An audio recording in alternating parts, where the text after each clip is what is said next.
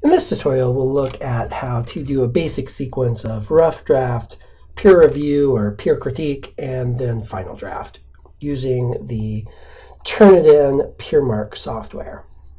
So I'm in Canvas right now and I have two assignments. I have one assignment set up for rough draft and critique, and then I've got another that is set up for the SA1 final draft. And the reason for setting up two assignments is a Turnitin assignment through the LTI can only take a single submission. Even if you allow your students to resubmit, when they resubmit, the first file gets overwritten. And if that file had a peer review attached to it in PeerMark, that all gets wiped out as well. So it's pretty simple. What we do is just set up a rough draft assignment. So the students will submit a rough draft to this assignment. And then they'll also go back here to this LTI tool to complete their critique. Um, so that's the way that works.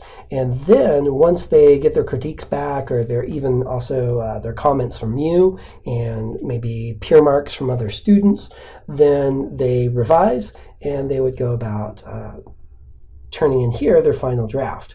And so uh, if you have a more complicated sequence, you just build in more draft and, and critique assignments and things like that. So let's go ahead and go into the our rough draft assignment, and we're going to add the peer critique element to that. And we're going to do that by going over into our settings here on Turnitin. And we want to click the optional settings. And there's really two things that we want to to do here. Um, we want to, first of all, because this is a rough draft, we don't want to store the submitted papers. Um, the, we'll still get originality reports, and if you let your students see those in your settings, they'll still be able to do that.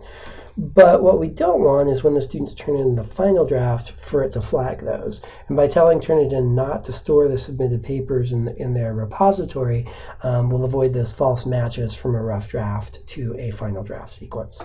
We also want to click Add PeerMark Assignment here, and that's going to add our PeerMark assignment. And of course, you have your Turnitin tool, tooltips to give you some details about what that's doing. So now that we've got our uh, settings for the PeerMark, we'll just hit Submit. And now that we have uh, submitted our PeerMark assignment our settings, we get a couple of extra tabs.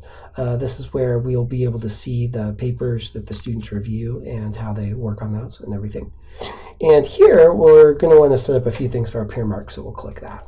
Um, we can assign it a point value if we like, so you know if it's whatever how many ever points out of the total it's it's worth to submit the rough draft and then do the peer mark. Please note that the grades from the peer mark do not sync. They do not sync.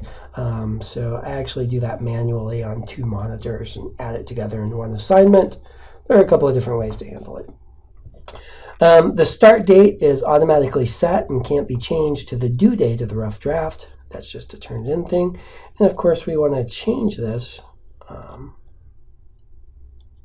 to whatever we're gonna whenever we're gonna have our critiques due and then our feedback release date we'll need to set that as well. To whatever you like. And then on the additional settings you get some options here. Um, if you want automatic grading it'll give the students full points if they totally complete the critique process for each paper that they're assigned. And uh, you can select these and read them as you like. It changes the behavior a little bit. And uh, there we go. And you can select how many papers you want each student to get.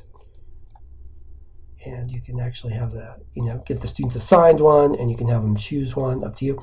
You can also require the students go through a self-review process where they critique their own paper if you like, or however you want to, you know, whatever you want to set these up. And then, of course, you close and then save and continue. And if you have any instructions for the students, you can put them there.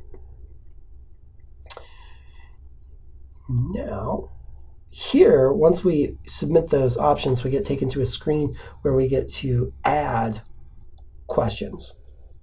And you can, of course, save them into libraries. So you only have to write your questions once, and then you can just toggle them and add selecting questions. And of course, you can add question by hand or you can reorder a question. You can go back in and add uh, for separate library, like if my students are using sources, I have questions about citation. So I can just toggle all my questions about citation and get them to answer questions about use of, and citation of sources as they critique. And once you've got those added, that's all you need to do. There's no saving or anything. It saves it automatically. And there you go. You're all done. And now when the students log in, they will first submit the rough draft, and then once the rough draft has been due, they'll be able to log in again and start their critique process.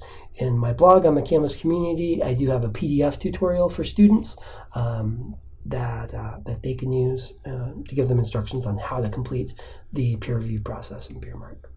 I hope this tutorial has been helpful, and I hope you have a good day. Thanks for taking the time to watch.